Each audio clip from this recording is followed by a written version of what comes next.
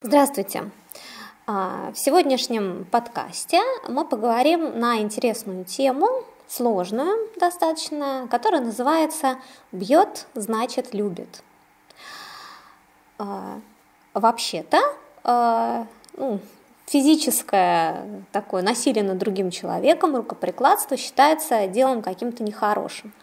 Однако э, в отношениях мужчины и женщины э, довольно часто, кстати, э, случаются эпизоды, когда мужчина, не выдержав, бьет свою женщину. Ну, Э, иногда это просто какая-то пощечина, иногда это достаточно серьезные побои, после которых некоторые женщины попадают даже в больницу. Вот э, такая история.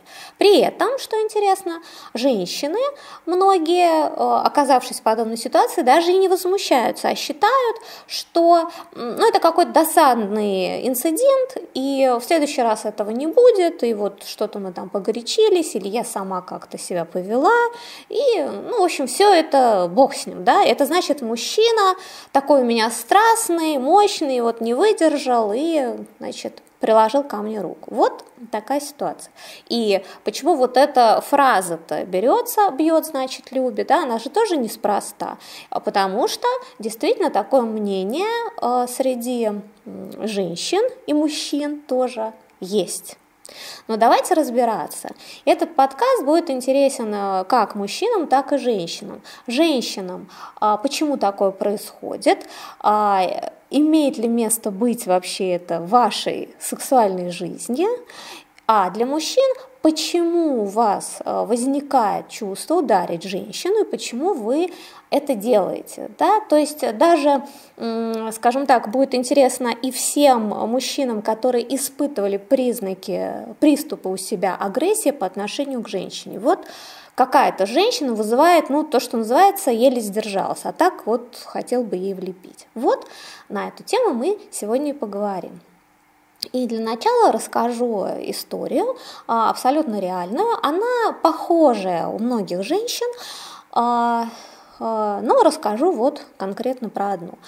Девушка прекрасная, очень с красивой внешностью, сексуальная, умница, встречается с разными мужчинами.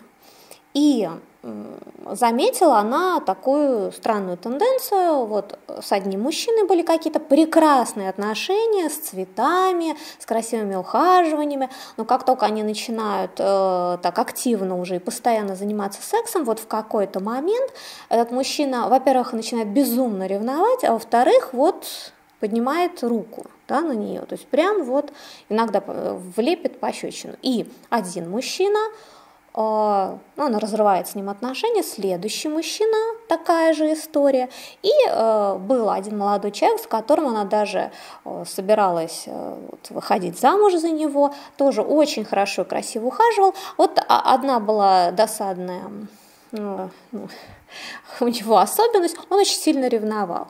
Причем она повода-то даже и не давала, а вот то, что называется к столбу. И э, какой-то был вот такой эпизод, где ему показалось, что она э, как-то активно флиртовала или что-то такое говорила про мужчину другого, что он, вот весь разозлившись, значит, ее ударил. Ну, на, буквально же на следующий день прибежала с цветами, э, на коленях, умолял простить, сказал, что вот это я что-то такое погорячился. Она, конечно, его простила, ну как, мне нравится, и все вообще хорошо, она замечательно. До следующего эпизода. Опять какой-то пустяшный эпизод, какой-то звонок там по, по телефону, да, кто это и что, опять приступ ревности и опять э, рукоприкладство. И все повторилось по кругу. А, обращаю ваше внимание, девушка не считала, что происходит что-то из ряда вон. Ну вот, ну вот такая у него страсть к ней, да, то есть, ну, ну что же делать? Когда она заподозрила, что что-то не так, когда она оказалась в больнице. То есть э, дело в том, что с каждым разом э, такая агрессия мужчины становилась сильнее, и бил он ее сильнее. И вот после какого-то момента она оказалась в больнице да, с потерей сознания. И вот там что-то у нее в голове так немножко повернулось в другую сторону, она подумала, ну, может быть, что-то и не так. И благо э, был э, другой человек, врач, да, достаточно опытный, который, знаете, как вот взгляд со стороны, он просто ее спросил, а ты не хочешь вообще написать э, заявление в полицию, потому что ну, так, за такие вещи стоит наказывать. А у нее было такое изумление, как, как, в полицию, как можно вообще это делать. И что, то есть, смотрите, те женщины, которые никогда не сталкивались с такой ситуацией, для них само собой очевидно, даже уже при первом а, значит, а, проступке мужчины, что нужно ну, разрывать отношения или очень жестко давать понять, чтобы этого не было никогда. Да? И, ну, а уж если там в другой раз даже намек в эту сторону, ну точно разрыв отношений никаких больше. А уж если если какие-то побои, естественно, ну, э, как, как нормально, если вас какой-то человек бьет на улице, да, вы подадите, ну, примите какие-то меры, чтобы его связали, скрутили, и вообще он понес какое-то наказание. Вот. Но это женщины, у которых немножко другой взгляд на сексуальные отношения. У нее даже не возникало, значит, ну, даже вот вопросов. Вот. Эта история кончилась хорошо, потому что все-таки она довела дело до полиции, а, хотя мужчина ей угрожал и говорил, что вообще, если ты не заберешь, я тебя вообще убью и прочее, прочее. Но она довела дело до суда, и, в общем, все кончилось хорошо. Он, конечно, ну, перепугался, и больше ну, никаких отношений таких не было. Ну так вот, а чем нам интересна эта ситуация? Почему женщина, сейчас со стороны женщины, да, почему она так себя вела? И вот здесь истоки, конечно, лежат глубже, чем кажется в самом начале. А, сексуальность у всех э, складывалась под воздействием каких-то обстоятельств. Да? Вот как-то в юности а, первые э, контакты, да, какие-то вот не знаю, первое вообще проявление вашей сексуальности, а, какая была реакция вокруг. Потому что у многих очень сильное осуждение там, родителей, вплоть до побоев, если застают за каким-то вот таким стыдным занятием, например, за мастурбацией или за каким-то таким сексом с кем-то, да, и идет очень бурная реакция может это сыграть сильную роль. Может быть, первый сексуальный контакт был э, ну, с, вот, да, с, с каким-то таким насилием. Но самое главное, что вот если у девушки записалось где-то, что ее сексуальность, ее женское желание, ее проявление быть женщиной – это плохо, это отвратительно, это ужасно, то вот с этого момента, как только она начинает чувствовать сексуальное желание, возбуждение, а, вот тягу к мужчине, а, тем хуже ей становится. То есть именно в подсознании, сознательно все, да, мужчины и женщины что-то встречаются и такое говорят, но управляет нами подсознание. В подсознании сидит, что это ужасно, то, что она это хочет. И, соответственно, раз это ужасно, то должна она вот за эту ну, свое сексуальное наслаждение, удовольствие заплатить. То есть ее должны наказать. Либо, как ее наказывали в детстве, да, вот э, ну, вплоть до побоев. Конечно, это несчастные совершенно женщины, и если вы чувствуете в себе вот такую жертвенность, да, и прощаете э, ну, в интимной сексуальной области такие моменты мужчинам, э, стоит обратить внимание на то, как вы относитесь сами вот к проявлению себя как женщины. Конечно, непростой момент, как это сразу изменить, но все-таки э, посмотрите, да, вы женщина прекрасна. За то, что вы хотите заниматься сексом, ну, не стоит себя осуждать.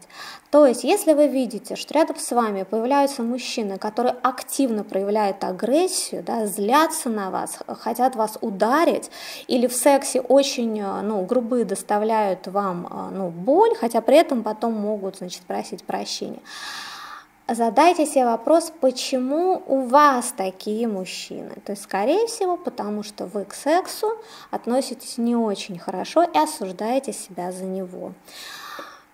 Изменить это можно, да, вот просто замечая в себе эти вещи, сказать, ну, я хороша, я прекрасна. Для этих целей, конечно, я всегда рекомендую начать со своего курса «Я сексуальна», потому что там ну, убрать какие-то вот ваши неправильные взгляды о сексе. Так, теперь э, посмотрим да, со стороны мужчины, что же это такое, почему же поднимается такая вот жуткая агрессия. Э, здесь так, как правило, мужчины вот с такой агрессией вообще-то потенциально очень сексуальны. То есть э, вообще-то им очень хочется заниматься сексом с женщинами. Их тянет, их бросает. Они, ну вот, да, безумно туда стремятся. И опять же, э, то же самое – а, первое, плохое отношение к сексу, то есть мужчина осуждает сам себя за такое безумное желание и переносит это осуждение на женщину. Но она же вызывает, да, подсознание, вот э, оно тянет в секс, секс ужасен, виновата в этом женщина, и поэтому что? Вот самое сексуальное прекрасное влечение, которое есть, можно направить в хорошее сексуальное русло, да, в наслаждение, в удовольствие, в радость от контакта с женщиной, а мужчина направляет это в злость, то есть он злится на женщину. А как дать выход э, злости своей? Ну вот, э, собственно говоря, как, как уже пошло, то есть когда пошел гнев, уже человек становится невменяемым и э, ну, вымещает его таким образом. А, что вот усиливает, да, то есть агрессия может подняться не сильно и ну, просто войдет в злость или вот в какой-то такой злостный, да, секс или в какой-то ну, выбор женщин таких, да, с которыми, ну, как можно не уважать, и вот, да, вот, вот в таком ключе пойдет ваше сексуальное это. Это еще более-менее, да, а можно выбрать очень сексуальную женщину, но вот там появляется жуткий еще страх перед тем, что женщина ну, владеет, да, вы попадаете в зависимость от женщины. То есть она вас возбуждает, безумно вы несетесь туда, да, ненавидя ее и себя за это желание, и если еще усиливается каким-то вот, а, она там с кем-то куда-то, да, вот оно ну, вот, в такую агрессию. Что сказать? Ну, первое, опять же, ваше же сексуальное желание – это прекрасно. То, что вы хотите так женщин – это замечательно. И ваше счастье на самом деле находится в сдаче женщине. Вот как донести эту мысль? Да, не нужно понимать ее как то, что я теперь стану, э, не знаю, под каблучником, буду вообще делать все, что там скажет женщина. Речь не про это. Вы чувственно понимаете, что да, вы бессильны перед властью женщины, ее тело над вами. Тело прекрасно, женщина прекрасна, и прекрасно то, что вы этому сдаетесь.